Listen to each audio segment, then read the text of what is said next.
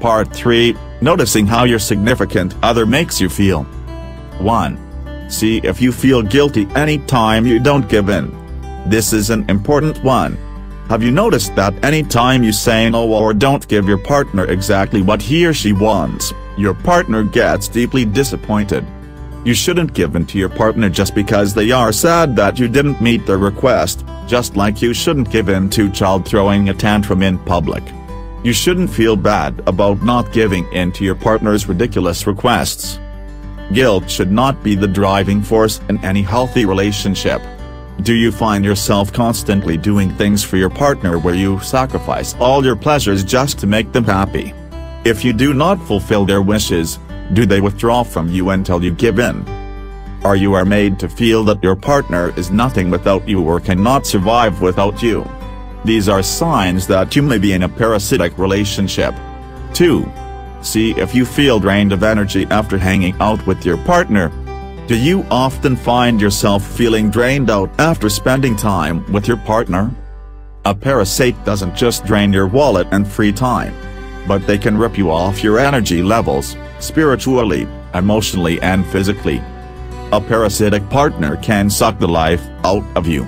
You are constantly giving him or her emotional, financial support, convincing him or her that everything is okay, and they can even drag you into their problems making you feel equally responsible for whatever miserable state they are in. In a healthy relationship, partners empower each other and make each other feel like anything is possible. In a parasitic relationship, one partner drains the other partner's energy, making him feel incapable of doing anything. 3. See if you feel like you're losing your identity.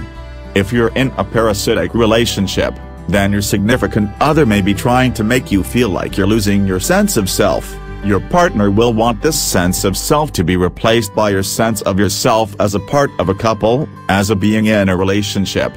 If you're forgetting who you really are and feel like you're losing track of all of the things that make you special and happy, then you may be in a parasitic relationship that is making you feel a loss of identity. In a healthy relationship, two people gain a stronger sense of themselves as they bond together as a couple. In a parasitic relationship, one person tries to take on the qualities of the other person and doesn't give him any time to figure out who he really is. 4. See if you're starting to feel used. If you suspect that you're getting used, then it's likely that you probably are.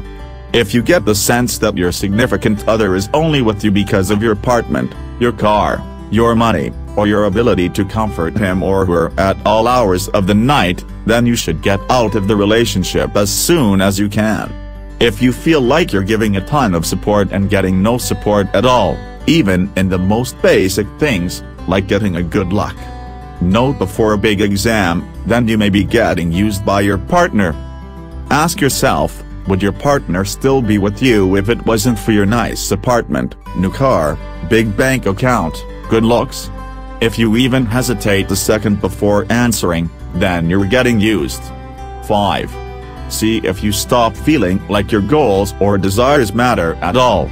This is another way that a parasite can drain you of your own identity.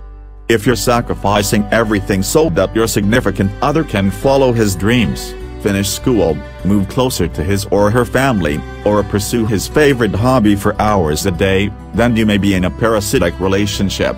In a healthy relationship, both partners have individual goals and work to get them to align. In a parasitic relationship, one person's goals become the focus of the relationship.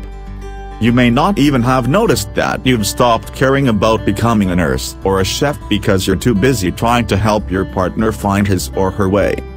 If your partner never even asks about what you want for your future or how you see your career five years down the line, then it may be because he or she is only interested in him or herself.